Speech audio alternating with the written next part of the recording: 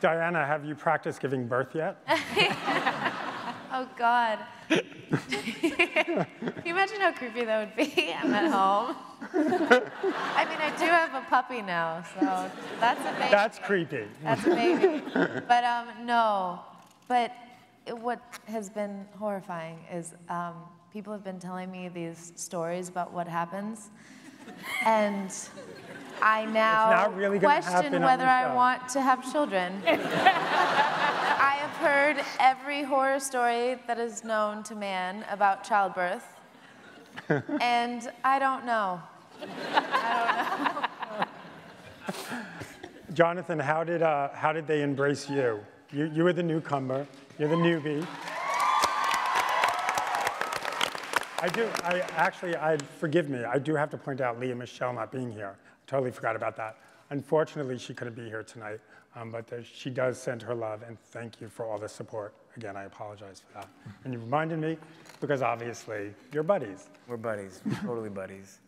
Um, I guess you don't know really what to expect when you come on to a show, especially a show that's been as successful and such a phenomenon as this one. You don't know what you're going to deal with as far as like on-set drama and ego and attitude.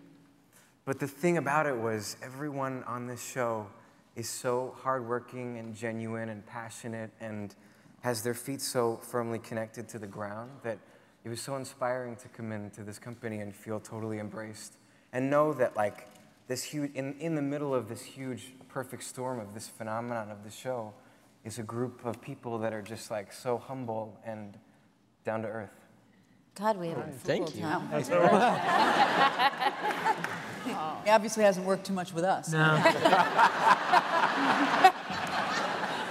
Keep dreaming, kiddo. Yep. um, where's Puck's mohawk? Um, that, the, the Twitter world. All, all, all, we will say is that Puck is in an episode trying out a new look. So do you like this or, yeah?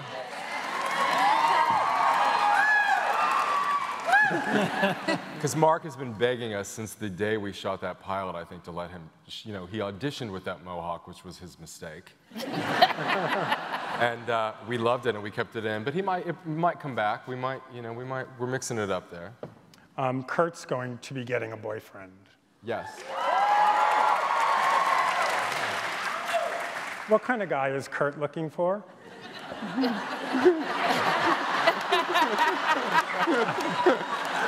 I'd like to know too. Well, it's a very sweet. It's a very sweet thing about that character because that character and his father, that that. Yes.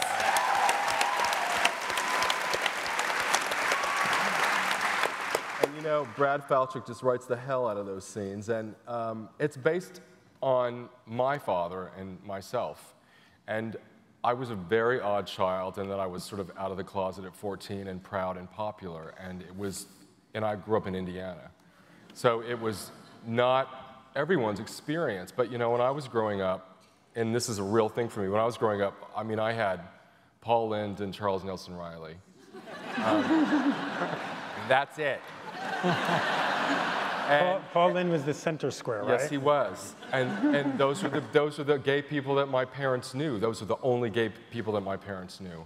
And, you know, with the Kurt character, I think there's such an opportunity, and I think Chris in that character becomes so iconic because he's proud and he's popular and he struggles, but he has such dignity. And I've never really seen that on network television, particularly.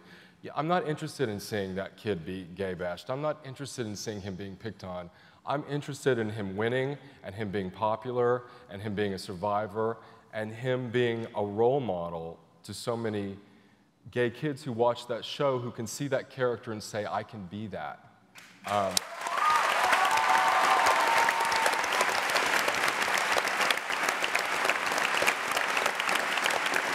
and, so, and, I, and I didn't have that, so that's very important to me. I mean, you know, he certainly struggles, but yeah, he's going to have a boyfriend who's going to be very different, but I think equally as fabulous and, and equally as, you know, and I want them to become the power couple of the school, and they will be. That's what I want. All I ask is that I'm the better looking of the two. Um, and speaking about gays that aren't on the show yet, um, Rachel's fathers. Will we ever see them? I don't know. We, Brad and Ian and I talk about that all the time. Not this season. Um, uh, not this season. You know, um, and we've never met them. I think that's a great surprise. I think you want to hold that a little bit. You know.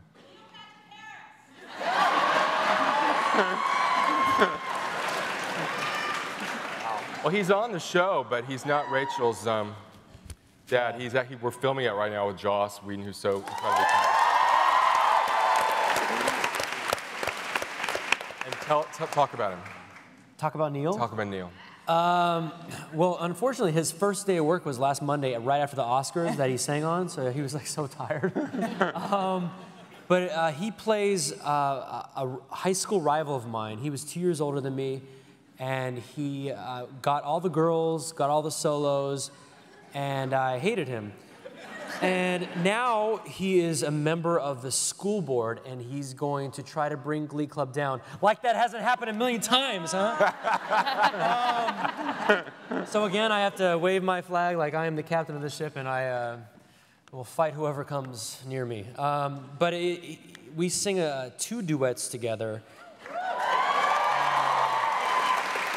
I can't say what it. One is an Aerosmith song, and uh, and the other is a Billy Joel song. It's gonna be fun. Jayma, that, okay. I watched the episode at home, and when he breaks up with you, ah, man, where did, where did you go? I mean, you just, it was amazing. Maybe I broke up with him. Yeah, I heard, I heard girl power.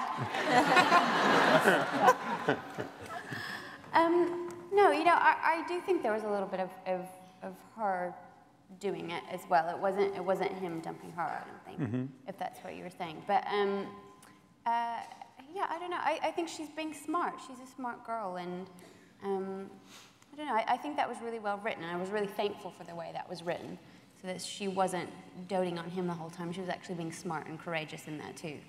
Have you spoken to people with OCD and everything else, and germ phobic, and I have pe- people come up to me that have issues and start telling me about their issues. they just don't shake your hand? They, they don't shake my hand, no. no, and, and people ask to take pictures with me and say, oh, can you pretend like you don't want to touch me in this picture? It's-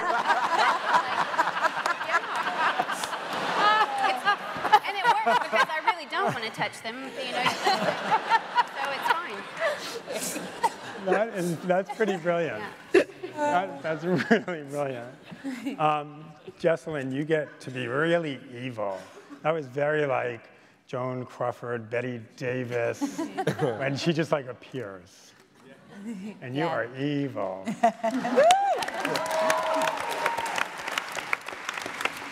How much do you like being evil? As James says, it's very subjective. Uh, uh, you know, I have Ryan to thank for launching my career of evil, and um, I, I'll make a meal out of any evil moment. I, I absolutely adore it. It's as fun as it looks. Yeah.